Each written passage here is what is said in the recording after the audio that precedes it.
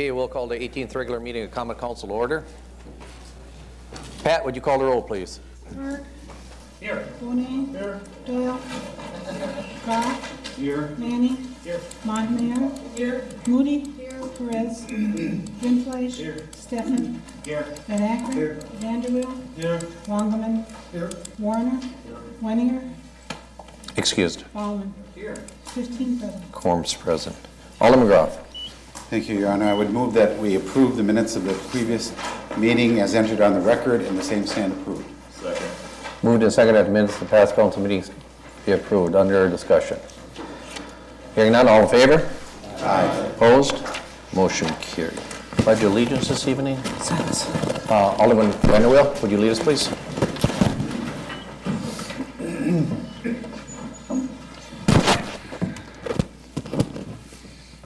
I pledge allegiance to the flag of the United States of America and to the republic for which it stands, one nation, under God, indivisible, with liberty and justice for all.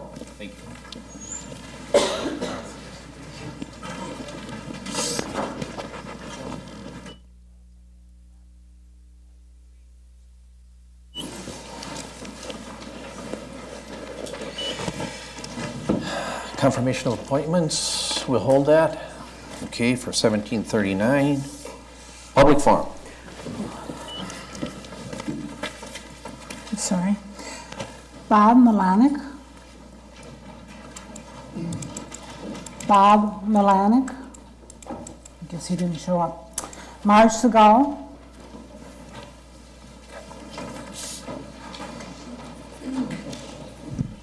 Good evening. My name is Marge Sagali, and I first of all would wish to extend to you and your families a very blessed holiday season.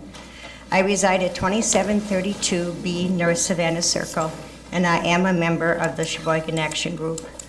Approximately five hours ago, I received a call from Alderman Warner stating that he had replaced me on the investigating committee looking into the ethics code violations. I felt that it would have been unethical for me to serve on this committee since I am one of the co-signers of the complaint.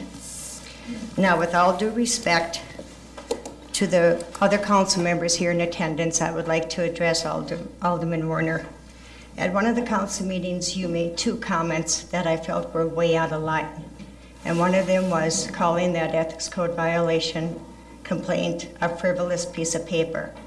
For it being a frivolous piece of paper, it sure has opened up a Pandora's box here in the city of Sheboygan, and the citizen taxpayers are watching to find out what is coming out next. The second one was you called it smell of rotten eggs. Well, the only place that I smell the eggs, uh, Alderman Warner, is from your chair, and you seem to be sitting in them up to your eyeballs. I think that that was very wrong of you, and being an older person representing the citizens of Sheboygan, you really had no right to make comments like that. I want to thank you for letting me speak. Okay, next. Henry Capitello.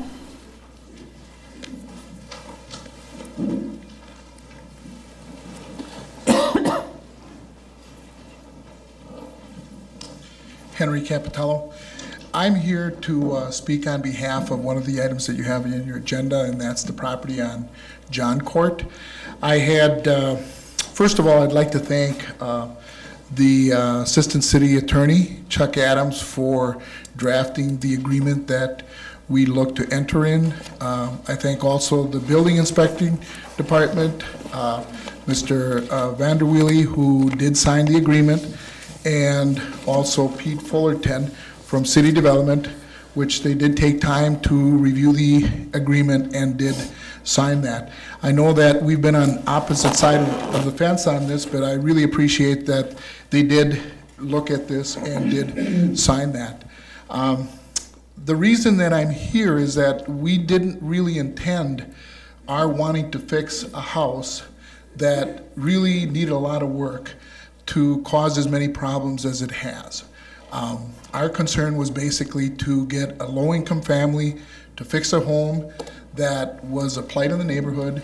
Um, We didn't know that there were going to be so many landmines in the way, or maybe we would have not looked at it.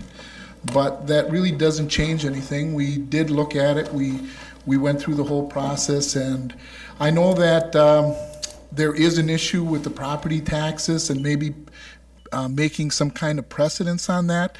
Um, We really did not have that as one of our reasons for doing this. Uh, in some way, I would sympathize with you that you do have a hard choice, and um, in your seats, I don't know what I would do. Um, but as the organization that's looking to work on this home, we would definitely would like to have you consider it. Uh, and like I said, we we understand your position. We know that this is something that is different, that no one has come before you to ask for this assistance. Um, uh, for the reasons that I heard at the Finance Committee, that this may set a precedence. We did not intend for that to happen. That is something that came about through this whole process. Um, and whatever happens here tonight, however the uh, the vote goes, or whatever you decide to do with that, we definitely will will live with that. We um, we will understand, uh, even though we may not agree on a lot of the things. We do respect your concern and your opinions, and some of the reasons why you may feel that this may not be appropriate for us to do. Um, in closing, I would like to again thank the, the city departments that did take the time to look at this, even though I know that they were quite against the project. Um, the building inspecting department, the uh, city development, and uh, Chuck Adams from the city uh, attorney's office, they had some major concerns on this. But you know what? They still went and they still did do the paperwork, and they gave us the benefit of the doubt, and I appreciate their professionalism to do that. And although they did not agree with me and where we stood on this, I respect that they did go through this process. Thank you very much. Okay. Alderman Groff. Thank you, Your Honor. On the Consent agenda, which is items 18-1 through 18-23, I would move that all ROs be accepted and filed, all RCs be accepted and adopted. We pass all resolutions, substitutes of resolutions, and general ordinances. Moved and seconded, all ROs be accepted and filed, all RCs be accepted and adopted, op- accepted and adopted. Resolutions and substitute resolutions and ordinances be put up on their passage. Under discussion, Alderman Vanderwill. Thank you, Your Honor. I'd like to pull uh, item 18.8 and ask for a separate vote on that. Okay. And the reason is because today I talked with Assistant Attorney Chuck Adams, and he gave me the impression that there's a chance that we will get the back tax- taxes back from the property owner, but there's also a chance, a better chance, that Home Inc. will fix up the property and we can get it back on the tax roll sooner. So with that, I would like to see the property back on the tax roll so we can start getting money from those taxes. Is there any other discussion? Alderman Rindfleisch. Thank you, Your Honor. Um, The document that we have simply is, is the report and does not have the attached Right. agreements that apparently we're deciding not to go with or uh, that, that, um, um, that they had looked at with Chuck Adams and and Vanderweely and so on. I don't have that. Um, If, if, take a separate vote, if- I'm uncomfortable doing that right now because I don't have the ability to see what the agreement was at this point in time, and ask if we do do that, that we hold off till our next council meeting. Okay. Is that a motion? Also move. No second. Is a second? Alderman Burns. That was to what? Have it Hold lie on. over? Have it lie over till next council. Because I haven't got access to the document either. So it would have to come from the assistant city attorney, I would imagine. We haven't gotten anything in our office. Steve? Well, If I could address that. Yeah. The, uh, I believe the communication came into council. The, the document that our office prepared was uh, an agreement with Home Inc. as far as holding off on the raze order, and that would stand, that, that's in effect. Uh, We won't execute on the raze order. Uh, Home Inc. has 45 days in which to uh, correct the problems with the foundation, and if that's done within 45 days, and then they've got another 45 days in which to correct the exterior violations. And property would not be razed during that period of time. That's what that agreement addresses, but I believe the communication that came into council dealt with other issues. You're still on, Alderman Rindfleisch. Uh, Thank you. Um, Yeah, the original communication I remember having, but the the details I did not see. Um, But if we're we're simply filing this today, we are gi- in effect giving them what they were asking for, is that correct? No. No, okay. Then I'm uncomfortable voting on this because I had- haven't seen what they're asking for uh, than filing. You have seen what they're asking for in the original communication on October 20th. You did get a copy at that time. But there- So there was no other agreements done? There was nothing since then. But So we had we're a we're simply filing what we originally had at that point in time? That's what is being filed here. Okay. Alderman Groff. I just, excuse me, I just wanted to say that what we're, we're filing here, what finance is recommending to file is that the fact that the concessions were not approved, um, and there was, the concessions that were asked for was half the taxes being paid by the city, which was setting a, a precedent, as, um, Mr. Capitello pointed out. And we'd be, we'd have to get money to pay that because the taxes are owed to the county, if I recall correctly how this goes. And then the other concession was to pay for half of the, um, the, um, the fencing or the cleanup or something of the property. And we also said to- no to that. Well, we have a motion to hold for He flyover, He wants to speak again. correct?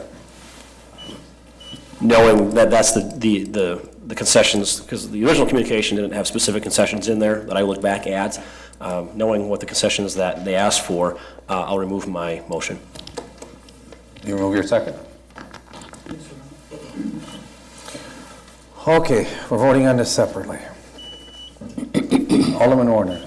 I think uh, I would just like, to- like it to be clarified if we vote aye or nay on this, what we're doing to it.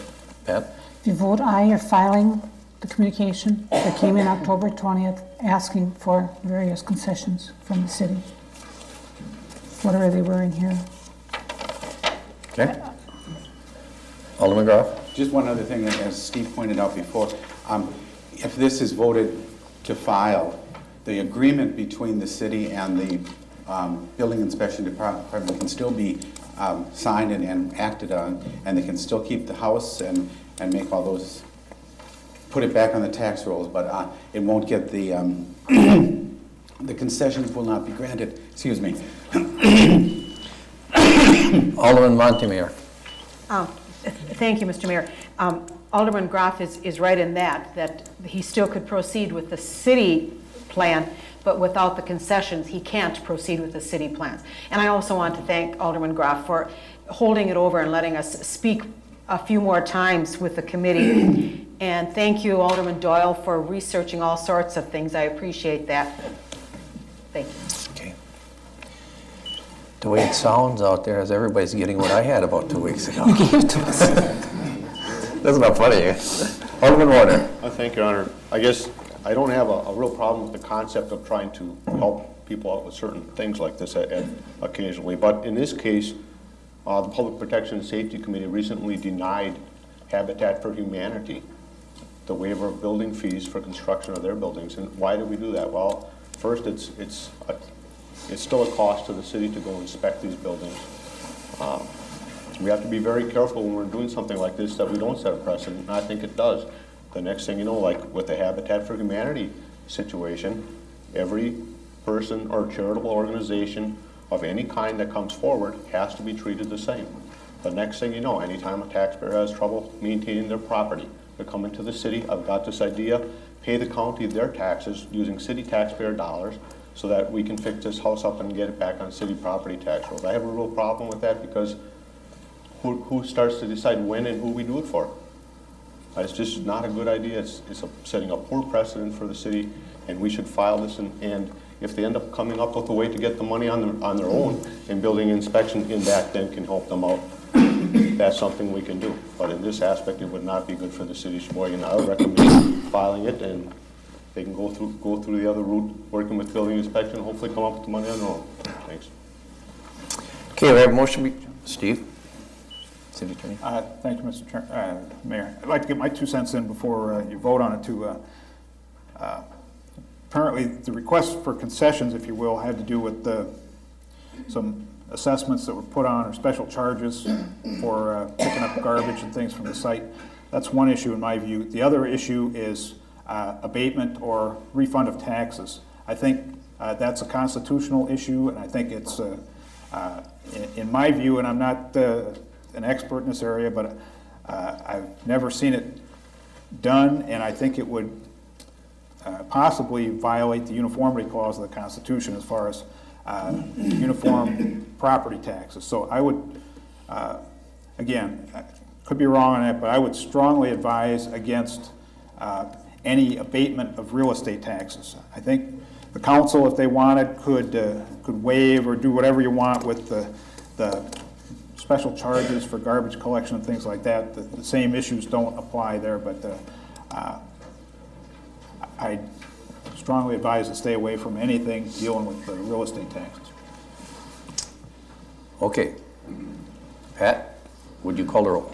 Don't need one. I need one. You need one? Okay. Bonet? Doyle? Aye. Groff? Manny? Montemayor? Moody? Perez? Rindfleisch? I'm sorry. Stefan? Van Akkeren? Vanderwill? Wangerman? Warner? Bauman? Berg? 13 ayes, 2 noes. Motion carried. Okay, everything else from 18.1 through 18.23.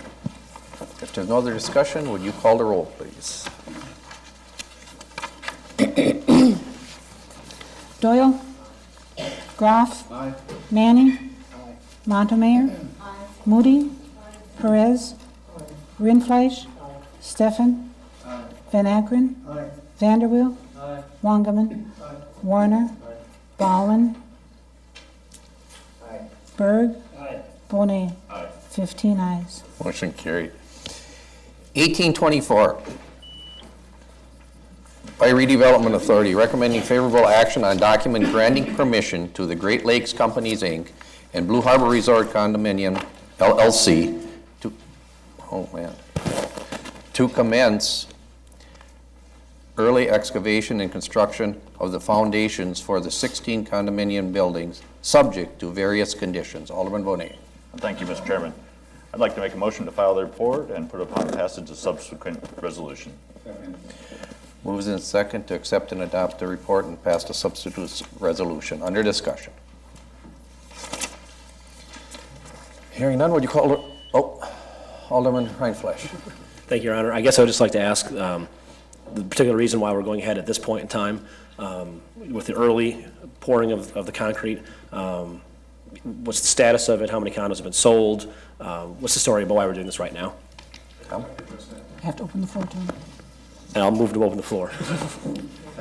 Thanks. Uh, Tom Sather with the Great Lakes Companies. Uh, The reason that, I'm trying to get this. real Hang on, Tom, wait I a gotta take, a- have- hang on, Tom, hang on a minute. All in favor, open the floor. Okay. Opposed, motion carried. All right, Tom. Thank you, thank you. Uh, The reason we're asking for the early start permit for the foundations, um, to make a long story short, originally, we had planned on selling the resort condominiums as securities. Um, That's what we were advised to do by the lawyers. And what happened is, as we got through this process of putting the documentation together, the approval process at the federal government, which is normally 90 days, is now almost a year, is what we're being told. It would have made it, it would have pushed our, our sales starting date way into next year. Uh, I think everybody wants the resort condominiums to open as soon as they can.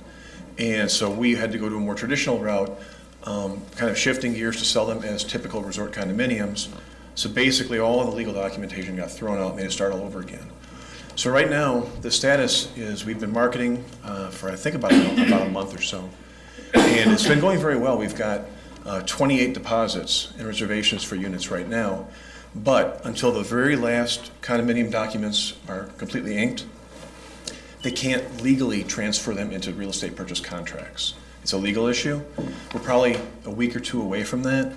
But in the interim, uh, is coming at us real hard. And uh, we brought some of the gentlemen from Kramer Brothers here if there's more technical um, questions that come up. But i- in the interest of, of time and and expense and difficulty of construction, we're asking to be able to put the foundations in and are posting a surety, that if for some reason something blew up, the money would be there to take them back out again. But this is really an effort to, to make sure that we don't waste any money in the construction process, and also to ensure that we can deliver as many of the condos as early in the process as possible. But thing, things are going, I, I would say, probably ahead of schedule in terms of the sales effort. Excellent.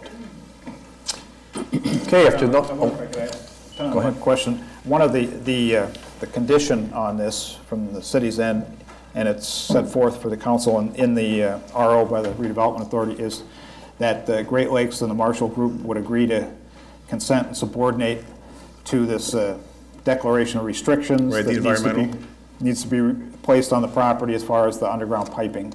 Uh, uh, Your in-house counsel, at least verbally advised that that wouldn't be a problem. Uh, Is that your understanding as well? That is my understanding. Okay.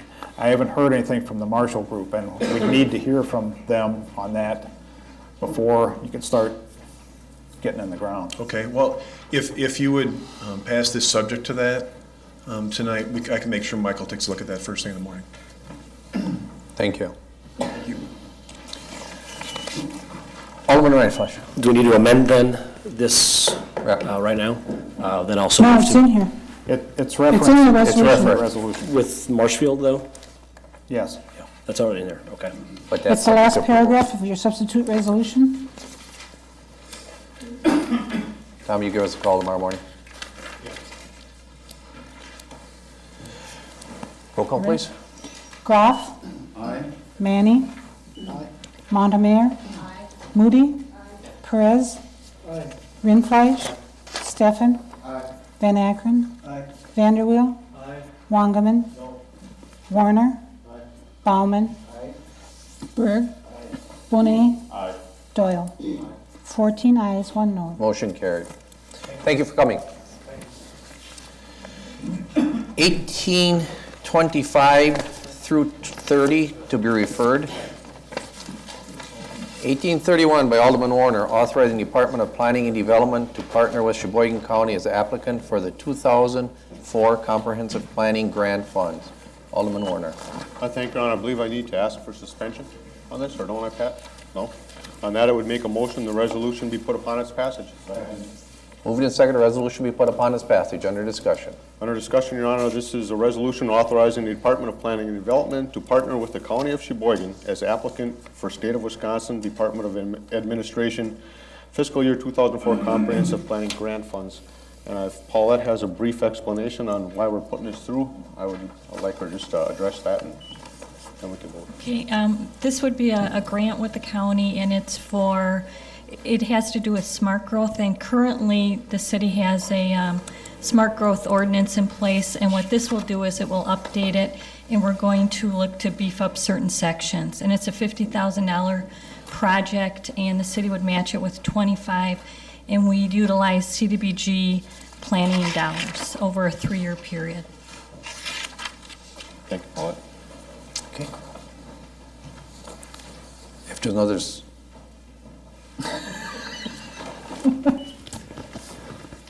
Your Honor, I'm Gabby today, I know. Um, The city match, that's already in the budget, or is that something we have to find later on? It's a part of our entitlement dollars, and we did get approval from HUD out of Milwaukee to use those dollars for that, for that purpose. Okay. There's no other discussion, would you call the roll, please? Manny. Montemayor. Moody. Perez. Rindfleisch. Steffen. Van Akkeren. Vanderweel. Wangerman. Warner. Bauman. Berg. Bonet. Doyle. Groff. 15 ayes. Motion carries. 1832 through 1835 will lie over. 1836 through 38 to be referred. 39 and 40 lie over. 1740 along with 1741. ARO by, by the city clerk submitting a communication from Attorney T. Winkle regarding entering into a waiver of conflict letter as he is being considered for appointment to the Special Audit Committee. Alderman Warner. I thank Your Honor. On 1740, I would make a motion to accept and file the RO. And on 1741, I would make a motion that the resolution be put upon its passage. Moved and second to accept and file the RO on 1740 and pass the resolution on 1741. Under discussion. Under discussion, Your Honor, on 1741, as a managing partner of Rohde Dales LLC, or LLP, excuse me, it is prudent to waive any possible conflicts in regard to Mr. T. Winkle serving on the Special Audit Committee. Uh, The waiver ensures that no attorney-client relationships exist between Rohde Dales LLP and the city. And further explanation would be Steve if needed.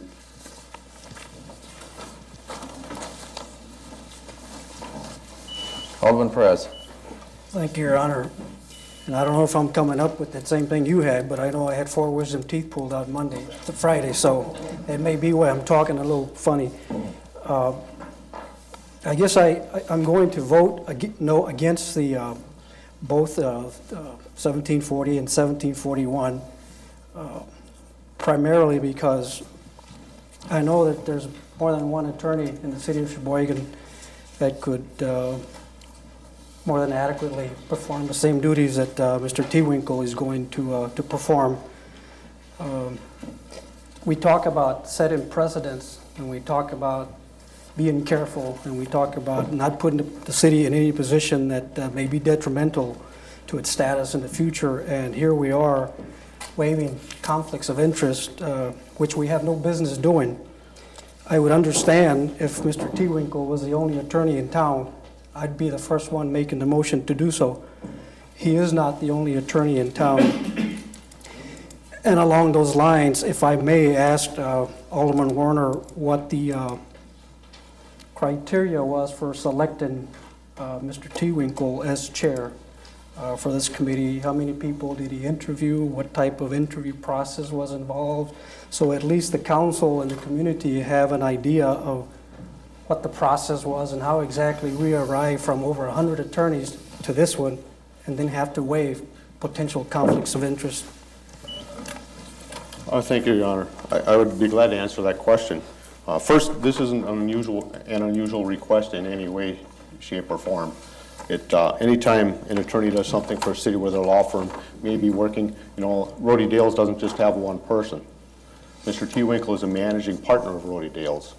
So his law firm works on things throughout the whole city and throughout the whole county and possibly the state, as do all law firms. Any law firm that came in here and was going to be doing this as a chairman, who happens to have something with the city at this time, uh, would ask for a waiver, because it's attorney-client privilege that they're waiving. It has nothing to do with uh, anything other than that. He doesn't want to look like he's representing the interests of the city legally in his work on the committee or here. And that's why I would ask Steve, that's from the legal standpoint, and that's what I was looking for, explain what the waiver is in a legal form, why they do this. It's, it's common. Uh, You know, there, there may not be actual conflicts of interest, but uh, I know Mr. T. Winkle represents a claimant who's filed a claim against the city, and that may result in litigation against the city uh, on the Tejano's Restaurant.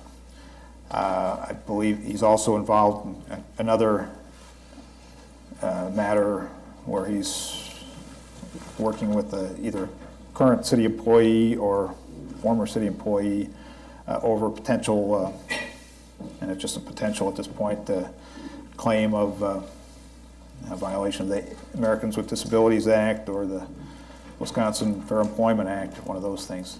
And uh, it's basically a way for him to advise the council that he's coming in with the perspective that he, he's representing clients against the city and wants you to be aware of that and to recognize that uh, he feels he can serve on this group. He wants you to say, okay, I recognize those things and, you know, we'll let you still serve on the group even though you're, you have potential actions that are adverse to the city's interests. If I may, Your Honor, what this does, in my mind, is it makes him even more likely to be more objective and much more careful in how he deals with these situations. Uh, As to how did Mr. T. Winkle get selected for this? Well, the first thing you do is you start thinking about people in the community and throughout the community who are uh, hopefully well-known, have uh, a very well-established reputation, have dealt with government and with private business. I looked at things like that, and he was one of a number of people I've called. Some I would not reveal their names as they declined, and it would be improper to do so without their permission. But when I talked to Mr. T. Winkle, and he agreed, we had a good discussion on, on how he would like to look at filling out the rest of the committee, and I made it quite clear that it's not Alderman Warner's committee. It's a committee put together by him and by this council of people that would look at things objectively in these issues, and that's how it came about. Uh, When Mr. T. Winkle agreed to this and was willing to do it without any pay or compensation whatsoever, as are all the rest of the committee members. They're doing it without pay or compensation, giving up their own time to look at these things factually. I think Mr. T. Winkle, as a former Wisconsin State Senator, as a candidate for Wisconsin Attorney General, is obviously very well qualified to do this. And I, and I don't think that, I think that he's quite capable of removing any interest he has in the city from his job as it would be on this committee. And Alderman Perez, you had another question for him?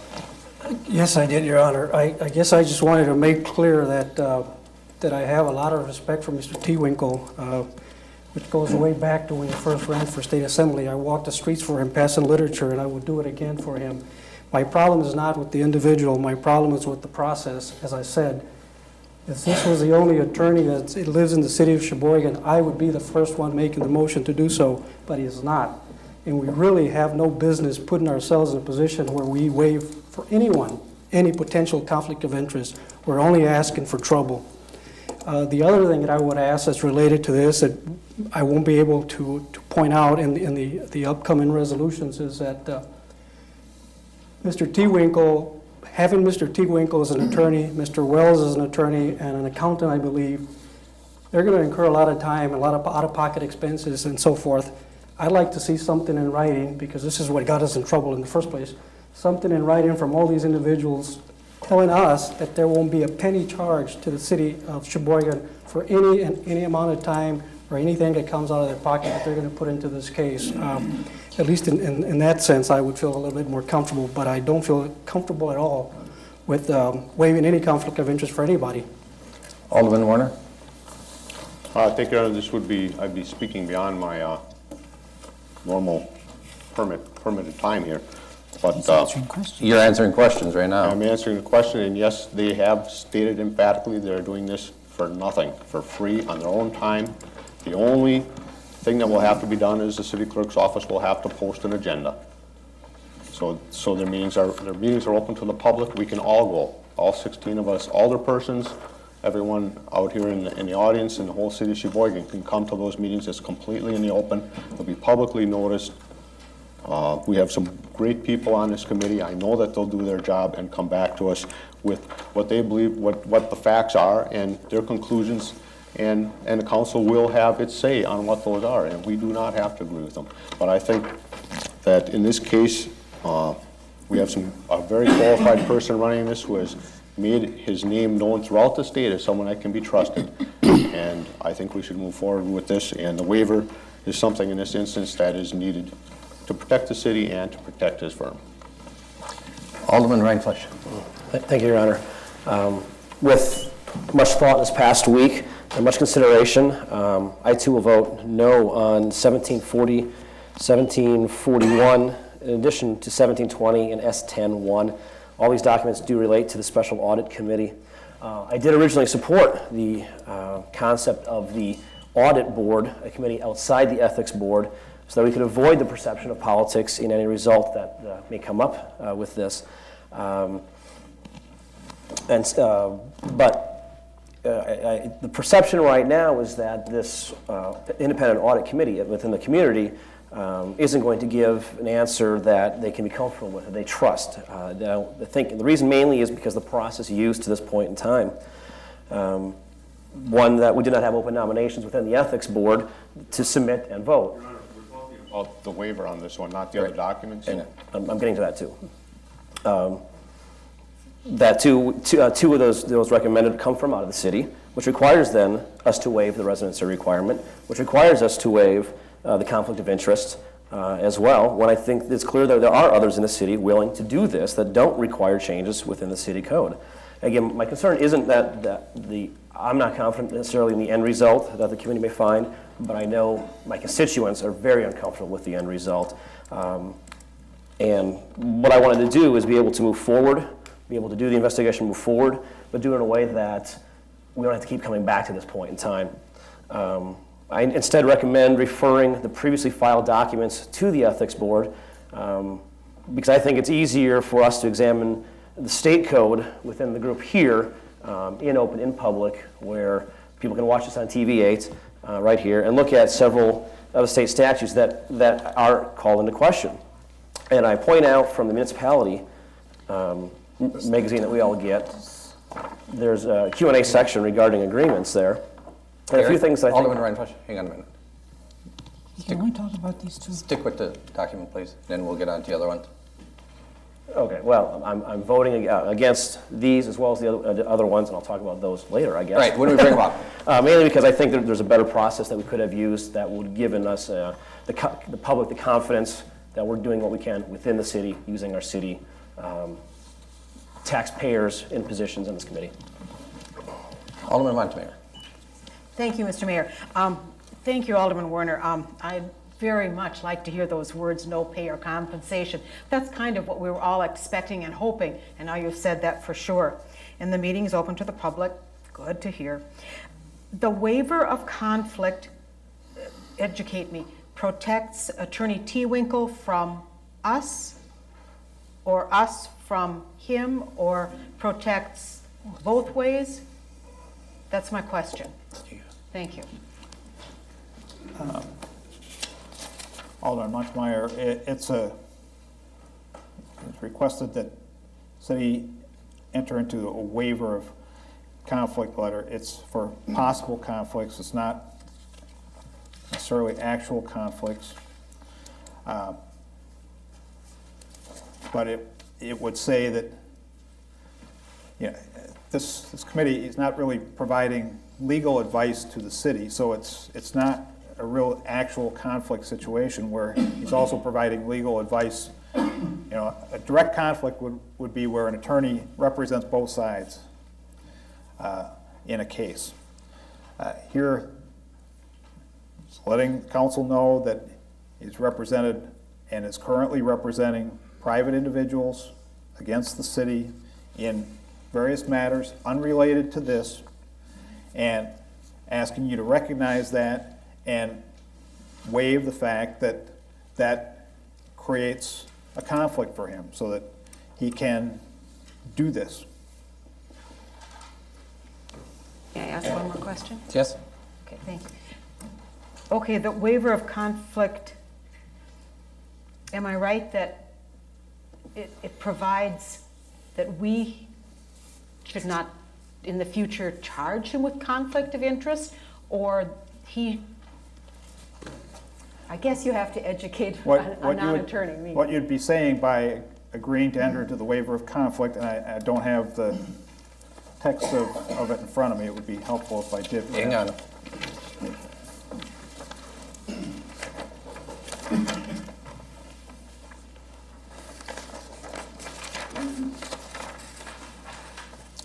Letter would signify the agreement of the city with our, the- their law firm that participation on the special audit committee does not create an attorney-client relationship between Rohde Dales and the city, and that Rohde Dales could continue to represent its current clients against the city, and could continue to represent other clients on claims against the city on the same basis as if proposed appointment to the special audit committee had never occurred. So he doesn't want to be in a position where by being on this committee, he can't represent Mr. Ramos in, in bringing an action against us. And you're agreeing that you, that you understand that and that he can continue to represent those private individuals against the city. That's Thank basically you. what you're That's agreeing. clear, thank you. Alderman Woodney? Thank you, Mr. House. Okay. Turn your light off. Hang on. Alderman uh, Warner, did you have something you held up there? I- Yeah, thank you, and I, and I just want to say, I think that it tests to to his honesty, coming forward and saying, I, I do have cases that are being looked at in the city, and, and that's why we need, and it's, you have to dwell on the fact that it's a waiver of attorney-client relationships between the city and his firm, and that's all it is. If, if he does something illegal, be like if anyone else did anything illegal. This is, it's, it's just a common thing to do. Now, Roll call, Pat? Montemayor? I don't have it on my sheet. Moody? Perez? No. Rindfleisch? Stefan? Van Akkeren? Vanderweel? Wangerman? Warner? Bauman? Berg? Bonet? Doyle? Groff? Manny? Eleven ayes, four noes. Motion carried. 1720, resolution by Alderman Warner establishing a special audit committee to determine facts and allegations of ethic, ethics violations by the mayor and city attorney. Alderman Warner. I thank Your Honor, prior to asking for uh, passage, I, I would like to make some amendments. please. No, ma- ask for passage Okay, on that, I would make a motion, the resolution be put upon its passage. Second. Move to second resolution be put upon its passage. Again, under discussion. Under discussion, Your Honor, I would like to amend the document. Okay? And the first amendment I would like to make is on, on the first page in the paragraph titled, uh, "Be it further resolved," in the last sentence, between the, the last comma and the second last comma, where it says, "And present said report to the common council," I'd like to change that to read, "And present said report to the ethics board of the common council." This is in regard to the ethics issue.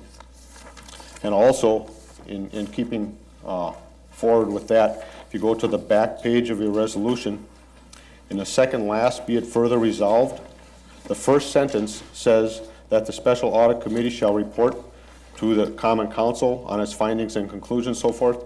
I'd like to change that, shall report to the ethics board on its findings and conclusions.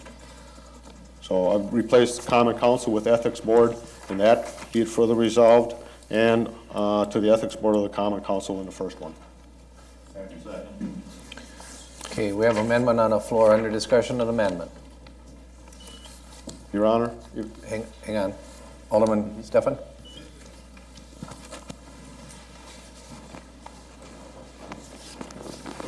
I guess I'll hold it. I didn't plan on talking, but um, I think this is part of the problem in the community, is the people, it was my understanding when we approved this, that we were going to have this outside group look at this, and then they'd report back to the Ethics Committee. You know what I mean? So we're taking an extra step. You know, instead of just going from A to C, we're putting B in there to make sure that people can't say, well, of course, the council looked at it and they're the same as the Ethics Board. So I thought that's why we agreed it, to do this, is- is exactly what we're doing now. It makes it clear to the community that we're not skipping a step, we're adding another step in there to be extra sure, kind of like double bagging your groceries. I guess my one question tonight, in lieu of what we received from 1991, would it be more appropriate to send this report to that salary and grievances committee, like it, I guess it says it should be, and then let them also report it out? Just a question, I mean, I'm not gonna argue, but I guess, it- you know, when I saw this, the first thing I thought was they should be involved, because that's, you know, they're the subcommittee for the ethics committee. So that might be an option too, but I can support either one. I don't know if that's a question of me, I, I don't know if I'm the right person to answer that. Uh, I, I would, I would think you'd probably want it to come to the full, full Council. board instead of the committee, but, Well, I mean, eventually it would, you know, after it went to the, you know, The- The way the city attorney explained it earlier, um, the subcommittee was more for a routine type, small thing like we had with the letter from Julie Lamb, not con, big issue. I think the big issue should come, that, I think that's what he meant by that. Okay, we have amendment before us. All in favor of the amendment? Aye. Opposed? Motion carried. Alderman Warner? And, and Your Honor, there's one other thing that uh, the President of the Council, Alderman Groff, pointed out. In the first, be it resolved, and uh, that the Special Audit Committee, it says responsibility to bring to the Common Council its findings and conclusions. Uh, His question was, should that be Ethics Board also? I think the Ethics Board is part of the Common Council, so in that first resolved it could stay as it is. And the issue regarding the ethics would go to the ethics board, and the issue regarding the uh, Blue Harbor project would go to the common council. You gotta change the name to. Yes, yes. I'm not So that sure. answer- That answers his question, yeah, I think. The other thing I need to do is I need to amend the document uh, to strike uh, Ms. Marge Segali's name and add the Reverend Greg Whelton's name in her place. Do I have a second? Greg, The Reverend Greg Walton, right? W H E L T O N, I believe it's the correct spelling. Pardon, how is it spelled? W-H-E-L-T-O-N. He's a pastor at St. John's UCC. Okay, I'll call there to get, or Hang on, I got some discussion coming, so hang on, Alderman Warner. Under discussion, Alderman Perez. Thank you, Your Honor. I'm thrilled to hear that we'll have a reverend in the committee. Uh, Would you please tell us a little bit about uh, Reverend? Uh, I actually have quite a bit to say about him in here. Uh, You you want to hear it right now, or? I didn't get a Whenever it's second. Do we have a second? I do have a lot. Yeah, we do have a second on that. Say here. sorry. so, Hang on one more second before you get into that. Sure. Alderman Warner, you want to speak on, Not on this motion. okay. Like Alderman Perez, I do have comments, and it does include something about Reverend Wa- Walton. Okay, before we vote on, it, you want to, Yes, I- actually, I would. Uh, We have so many things going on here. So on that, I would make a motion that the resolution be put upon its passage. No, as- no, No, no, you gotta speak no, on- no. speak Talk on- about him. Okay. Reverend Walton. Reverend Walton. Uh, The Reverend uh, Greg Walton is a senior pastor at St. John's United Church of Christ. As an ordained minister for over 26 years, he will be an asset to this committee. Uh, He's been the pastor there for the past 13 years, and he's been involved in the Ministerial Association for Sheboygan County and many other things throughout the city. Okay, now, on the amendment, we'll be voting on this amendment. Uh, Was that what your discussion was on? Not? No. Okay. All in favor of the amendment? Aye. Opposed? Motion carried. Okay, now, as Alderman Warner? I would make a motion the resolution be put upon its passage as amended. Moved and second that the resolution be put upon its passage as amended. Now, under discussion, Alderman Rindfleisch. Uh, Thank you, Your Honor. Uh, I would make a motion that we amend the um, resolution uh, removing in the last, or the second to last, be it further resolved, on the second page, uh, in the sentence, um, be it further resolved that the Special Audit Committee shall report to the Ethics Board now on its findings and conclusions regarding the ethics issue within 60 days, um, period, and remove the February 2nd, 2004 meeting, whichever comes first, to give them a full two months to do the investigation rather than the month and a half that they would have right now. We have a motion before us, under discussion. Under discussion, Your Honor, that really, this actually gives them two extra weeks no matter what happens, 60 days. This gives them both. If they can get their work done by February 2nd, they will. If not, they still have 60 days. It's, it's a moot point. No, it doesn't. Doesn't? Whichever comes first, it says. Okay. If you want to amend it, That'd be good. if you wanted to amend it to say 60 days, that would be fine, but it says whichever comes first. So if they're, if they don't finish by February 2nd, they do not have the 60 days. Okay. Is that your intention? That's my intention. Just, if you want to just amend it to make it 60 days and take out the February 2nd, that would That would work fine. make the motion. You already have it. Yeah, I thought he said delete it. He I just said February delete 2nd. uh, everything after 60 Okay. days. Okay, we have a motion before us. An amendment. Okay, I needed the second. All in favor of the amendment? Aye. Opposed? Motion carried. Now, again, as amended.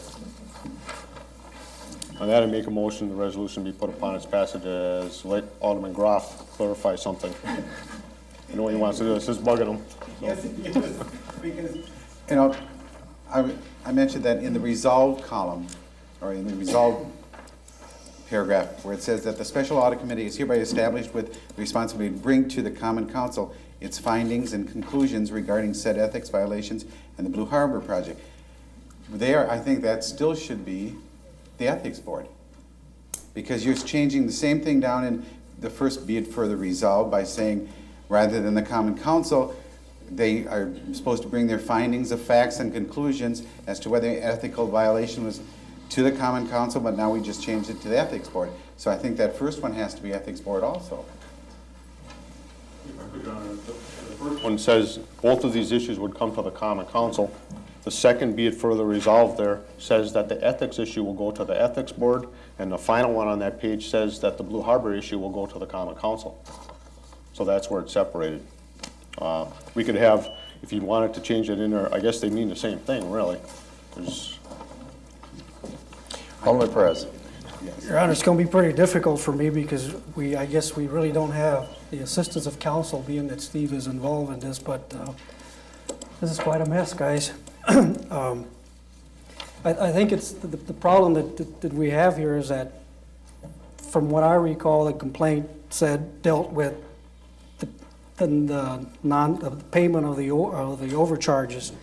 And all of a sudden, we got three more things that the ethics board or the committee is going to be looking at, and I think people are still trying to figure out who's going to do what. Um, uh, I don't know that we should be acting on it tonight. Somebody might want to take it back and take a look at it uh, with the assistance of counsel. As I said, uh, Steve's in a very awkward, unfortunate position here to even be giving us advice. Uh, I, I, I empathize with you. It's, it's a sad situation here, but uh, we, at this point, the council has no assistance of council. We really don't know what we're doing.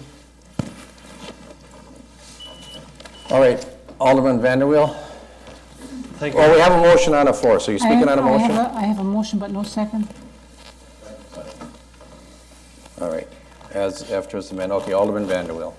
I just wanted to uh, say some concern what uh, Alderman Perez had said. Would it be beneficial during this process to have Chuck Adams assist us with this rather than Steve? I I can give you my legal opinion that if, that, uh, you know, our office would really be tainted. Uh, You know, Chuck works for me. Right. I I hire him, so uh, he would be influenced potentially too. Alderman Warner. Your Honor, first, I think it- the resolution is pretty clear on what our, what the council's intent is here. We did change it to get the ethics issue to the ethics board, and the issue dealing with Blue Harbor, and they're looking into the legal documents of that to the common council. It's as plain and simple and clear as that. There's two issues, the ethics issue and the legal documents of Blue Harbor, are they right for the city? The ethics issue is going to the ethics board, the other issue is going to the common council, which actually is the ethics board also. Uh, I think we're fine with that. The amendments we made actually are, are, I think, very important. I don't see any need to redo this document. And that, I would say, uh, it's a goal of the Special Audit Committee via this resolution to determine the facts regarding the ethics claims and then present their findings and conclusions to the Ethics Board. In addition, they will examine the Blue Harbor project legal documents and report to the council on their findings. This will provide assurance and guidance to the council and the public to ensure the validity and accuracy of the project. This special audit committee, made up of individuals who are professionals in their field and dedicated to the truth, will provide a fact-based assessment of the ethics issue as well as the Blue Harbor project. These individuals, individuals will provide this community service without compensation, for the record, objectively and with the best interests of the people and taxpayers in mind, without compromising the true facts. As chairman, attorney, and businessman, Bill T. Winkle will provide impeccable leadership. As a UW-Madison Law School graduate and managing partner of Rohde Dales LLP, Bill's experience will be an asset to this committee. Mr. T. Winkle is the ethics advisor for Rohde Dales, and as a former Wisconsin State Senator as well as State Attorney General candidate, Bill's familiarity with legal and government ethics will provide a great deal of guidance to the committee. Attorney Robert Wells, a Sheboygan resident, and attorney Robert Wells, a Sheboygan resident, our former district attorney, will certainly bring a great deal of experience and legal expertise to the Special Audit Committee. His past experience will be invaluable. Robert is a respected and capable individual and will be an integral part of the Special Audit Committee. Mr. James Graven, a certified public accountant with Schenken Associates, in accepting this task, will provide expert financial insight into the Quarles and Brady contract, as well as the financial aspects of the Blue Harbor project. Jim's service will be very important to the conclusions of this committee. Mr. Alan Rudnick, as a city business owner, will be very important, a very important contributor to the committee. Mr. Rudnick was born and raised in Sheboygan. As the owner and operator of a family business that has been in Sheboygan for over 90 years, his commitment and dedication to Sheboygan is second to none. Alan will add a very important balance to the Special Audit Committee. He will serve with distinction as a dedicated and responsible local business owner. The Reverend Greg Whelton, senior pastor at St. John's United Church of Christ, as an ordained minister for over 26 years, will be a great asset to this committee. Pastor Whelton has served at St. John's for the past 13 years and has been involved in many community organizations, as well as the Sheboygan County Ministerial Association. Pastor Whelton's addition to this committee will be very beneficial to its success. These people, their willingness to serve and their credentials will provide unbiased and objective opinions based on fact, providing the Ethics Board and the Common Council, but most importantly, the taxpayers and voters, the assurances and answers needed regarding the ethics and financial questions surrounding the Brady contract as well as the Blue Harbor project. Can I have another page? Alderman Groff. Seriously, uh, when the Special Audit Committee has completed its work, their findings regarding the ethics issue will be brought before the Council's Board on Ethics, giving each and every alderperson an opportunity to review the facts, make their conclusion, and take appropriate action. 16 alderpersons, 16 people capable of making a vote. In addition, the Special Audit Committee's report to the Common Council regarding the Blue Harbor project's legal documents and contract will provide the council with facts and findings in these documents that will clarify and clear up any concerns we may have. They will also be able to provide us with recommendations to address any concerns found, if any. I would add again, these citizens will be providing their time and talents at no cost to the city or its taxpayers, and their community service should be applauded. I ask for your full support to remedy these issues in the open with facts as a guide and the truth as a goal. Thank you. Alderman Rindfleisch. Thank you, Your Honor. Uh, I agree with the words that these uh, members of our community willing to act on, on this committee should be thanked for their community service. Um, but I think we're, we're, we're seeing some of the confusion that our community has come out right here in our council right now. Um, the, they don't understand why we're doing a separate committee, and my initial reasoning for it uh, to keep politics out of it. Again, I think people see that politics is entering into it right now. Uh, I think that we could do it ourselves quick, more quickly, more easily. Uh, again, point to the questions that we saw in the, the municipality. Um, four state statutes paraphrased here that I think that we could quickly ask some difficult questions, get some re, uh, reasonable answers, and move forward. Um, statutes, four, four statutes. First one establishes that unless otherwise provided by law, city funds can be paid out only by authority of the Common Council. Uh, another statute, no debt may be contracted against the city nor evidence thereof given unless authorized by the majority of all the members of the council. A third one, in, in cities, the statute mandates that countersignatures of the city comptroller or officer performing his or her duties on every municipal contract. The statute further provides that the comptroller may countersign a contract only when the necessary funds have been provided for and approved by the Common Council to pay the liability that will be incurred under the agreement. And the fourth one that I saw was pertinent was a statute that establishes that a contract not countersigned by the comptroller is invalid. These are four very tough questions. I think we can sit together, reasonably discuss the issues, get some answers, move forward in a way that the, commu- the community senses that we've got a confident answer, we're going to report back to them with the results, and we can move forward. That's all I'm asking for. So I will vote again no on this, uh, this special audit committee, and hope that we go back to bring the original documents that we filed back to the ethics board, meet as an ethics board, and go forward from there. Thank you. We have a motion before us. Does everyone understand what the motion is? You want to restate it? The motion is to pass the resolution Resolution as as amended. amended. Okay. Amended three times. Okay. Call the roll. Moody? Perez? No. Rindfleisch? No. Stefan? Aye. Van Akkeren? Aye. Vanderweel? Aye. Wangerman? Aye. Warner? Aye. Bauman? Aye. Berg? Aye. Bonet? Aye. Doyle? No. Groff? No. Mo- Manning? Aye. Montemayor? No. Motion Ten carried. ayes, five noes. Motion carried. 1739, resolution by Alderman Warner authorizing the appointment of a study committee to examine the quality of life services received by city taxpayers. Thank you, Your Honor. I make a motion the resolution be put upon its passage. Moved and seconded, the resolution be put upon its passage under discussion.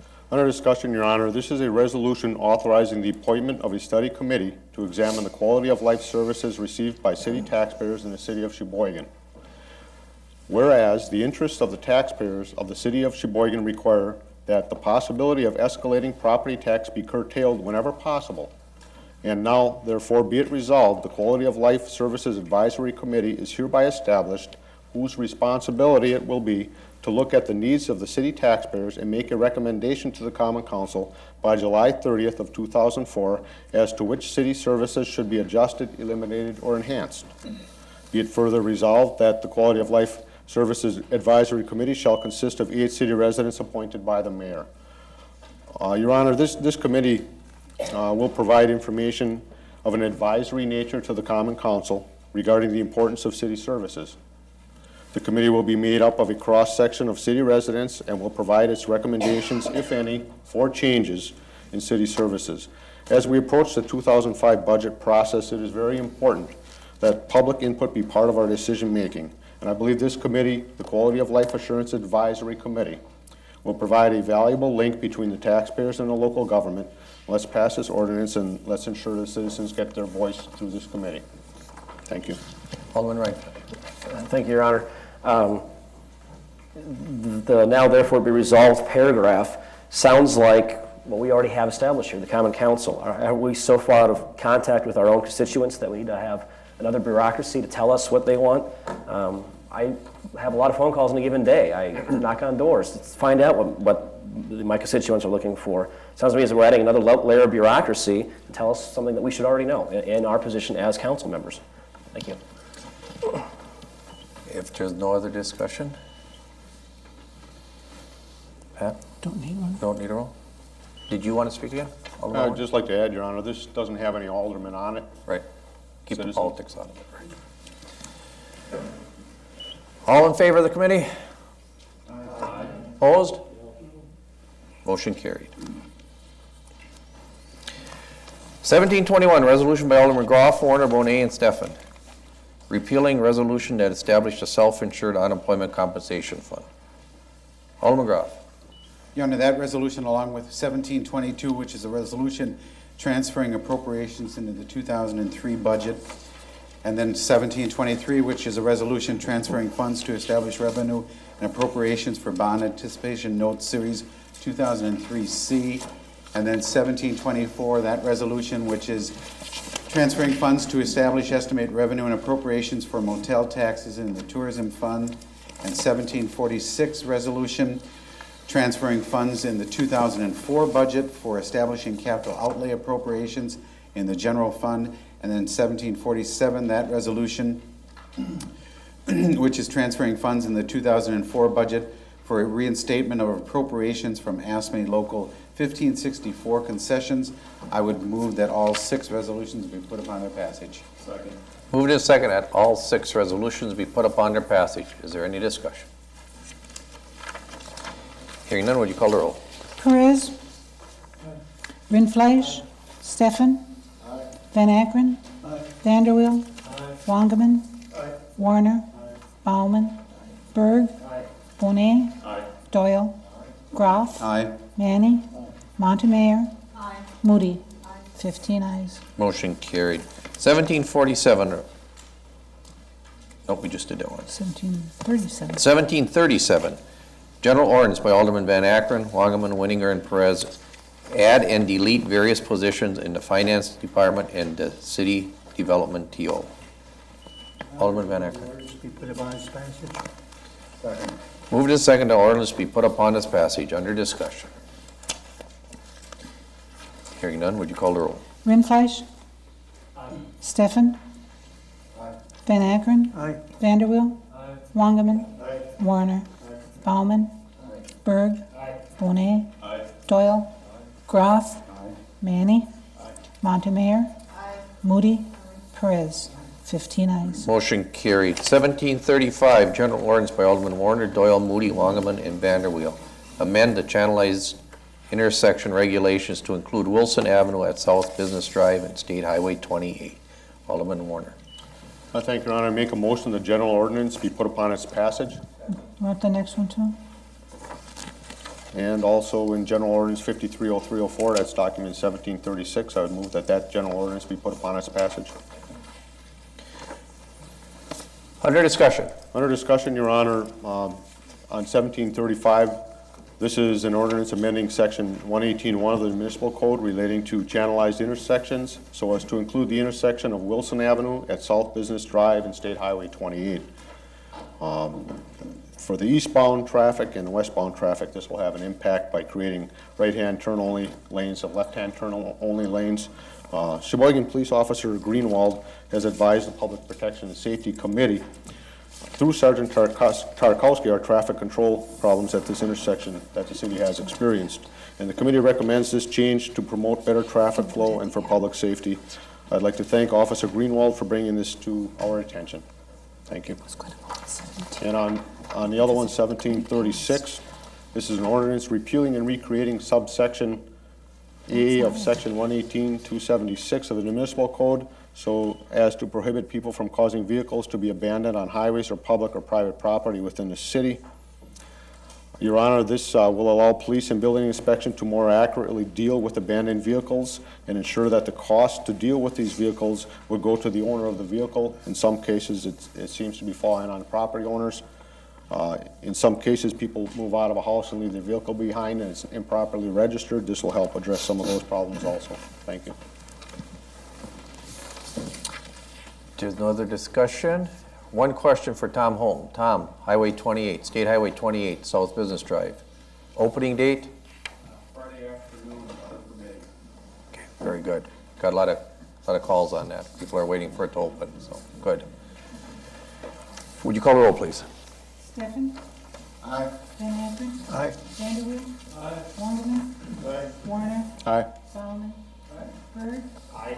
Bonet? Aye. Doyle? Groff? Aye. Manny? Montemayor? Moody?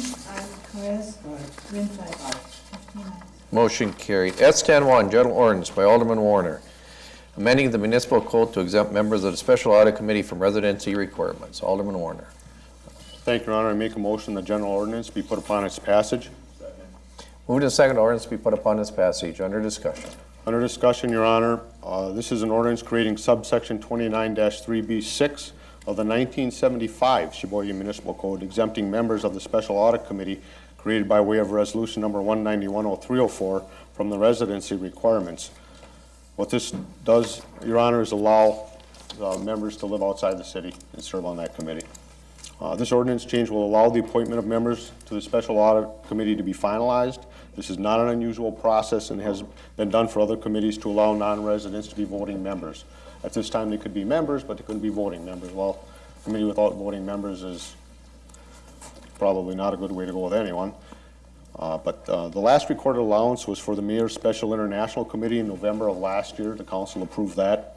The residency requirements have been lifted for the Business Improvement District Board, the Sheboygan Development Corporation, and the Marina Committee as well. Uh, There's also allowance for members of the Board of Heating Examiners and licensed members of the Board of Electrical Examiners. Again, it's not unusual to allow non-city residents to serve as voting members on city committees uh, of this nature. In this case, each of the two non-resident members of the Special Audit Committee have businesses in the city, and both have been born and raised in Sheboygan. And I think that's an important distinction.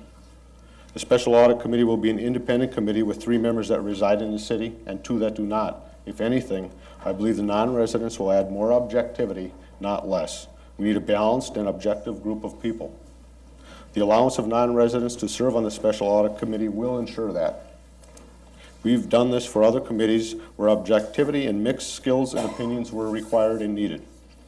And I'm convinced it will work well for this committee as well. Let's move this forward, let's let the committee get started on its work, and let's stop dividing the city and trying to stop the finding of truth.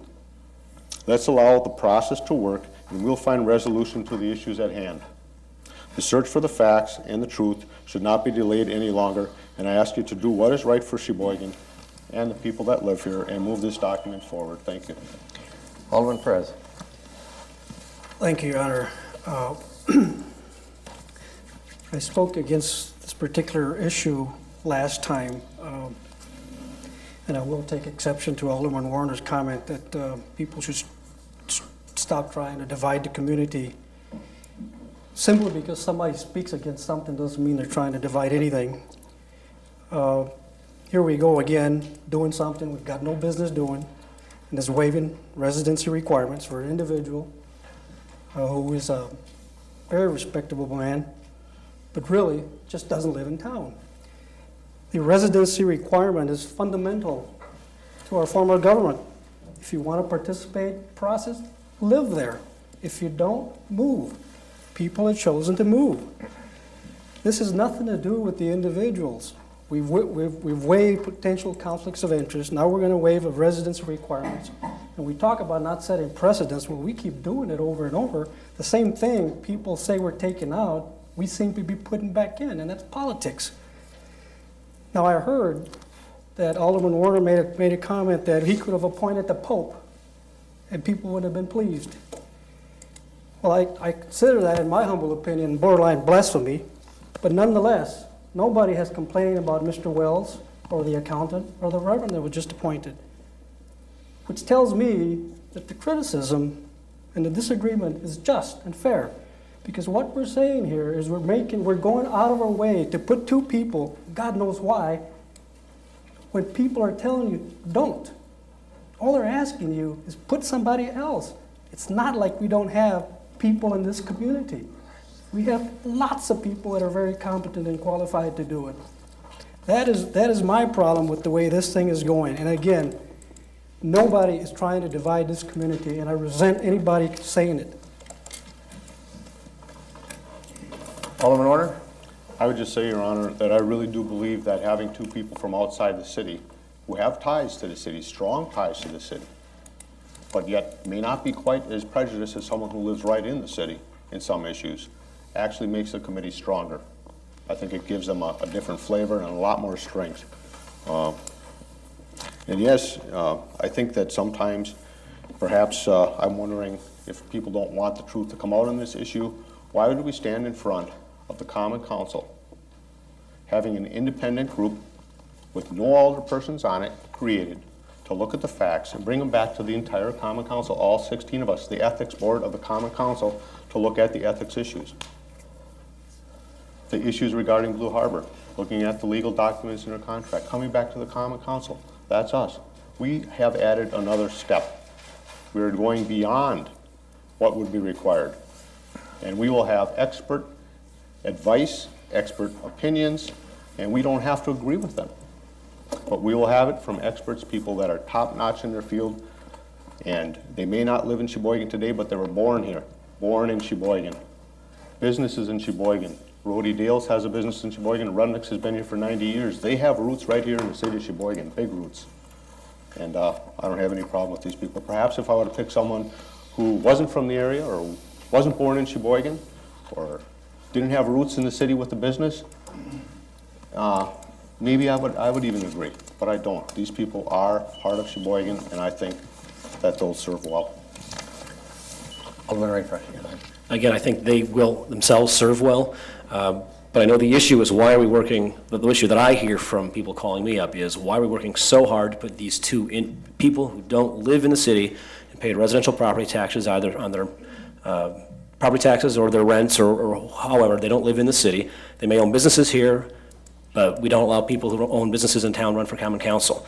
Um, You know, we have standards, and that's what people are concerned about. There's people within the city who may be just as fair and, and just as open, um, that would be willing to help out, um, and that's the direction I'd rather go.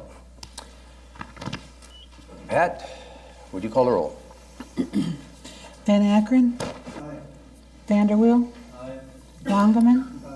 Warner. Bauman. Berg. Bonet. Doyle. Groff. Manny. Montemayor. Moody. Perez. Rindfleisch. Stefan. Ten ayes. Eleven ayes, four noes. I can't. Motion carried. 18, oh, let's take this up, please, for that committee before we forget, or you want to do that at the end? Do it at the end. Okay. 1841 we'll go to finance. 1842 lies over. Steve?